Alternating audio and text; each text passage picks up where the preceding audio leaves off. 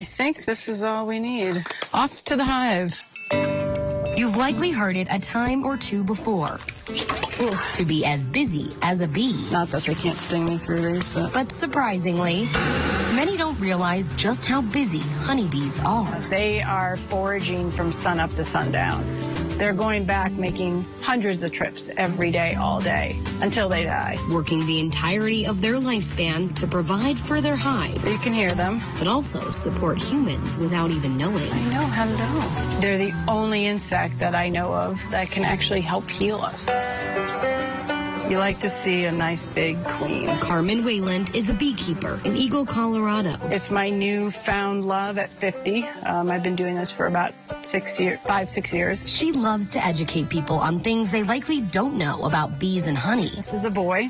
They don't they don't have any stingers. Because even beekeepers are constantly learning new things. The more I read, felt like the less I, I knew. Um, but it's probably the biggest rabbit hole I've ever dove into. Bees have become a backbone to our environment. Experts point out how crucial they are to biodiversity in and of themselves.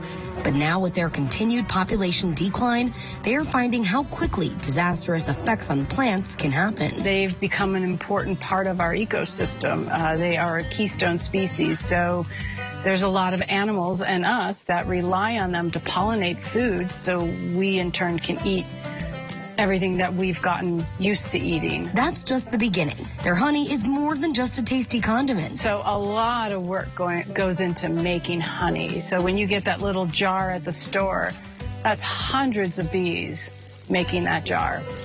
So that's why I never like to waste even a drop. These girls work hard. Girls are doing good. Yes, I'm allergic to honey. I'm getting better. I'm able to eat it more because I do a little bit every day. Her allergy has never gotten in the way of seeing the benefits. Studies suggest it can even help with depression and anxiety.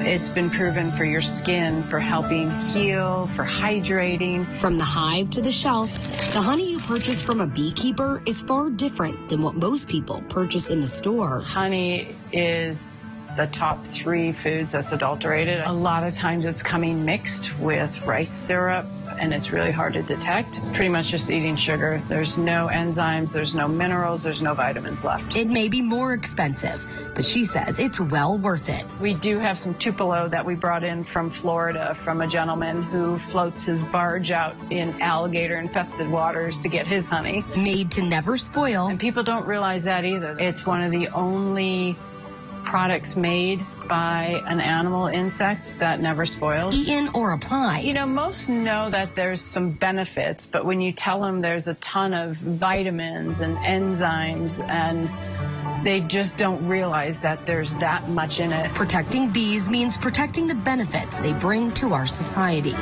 In Eagle, Colorado, I'm Jesse Cohen reporting.